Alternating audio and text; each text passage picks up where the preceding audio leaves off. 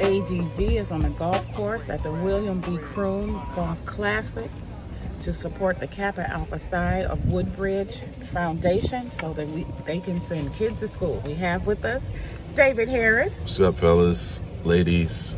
CEO of ADV, and he's driving me in the golf court. And I'm low key afraid. Don't be afraid.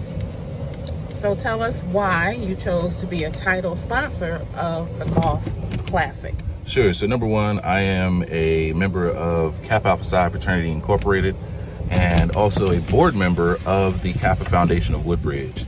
Uh, ADV as a company gives several thousand dollars per year to the foundation to support scholarships for young men and women, excuse me, young men in the Prince William County and Stafford County areas. Uh, so as a title sponsor for this event, uh, we're able to raise additional funds from the community, from other companies to provide for those scholarships for those young men in the uh, Prince William and Stafford County areas. So that is why we are a sponsor, a title sponsor for this event. And yes, we are in a tunnel. Uh, I don't know how many tunnels you've been in on a golf course, but this is pretty cool.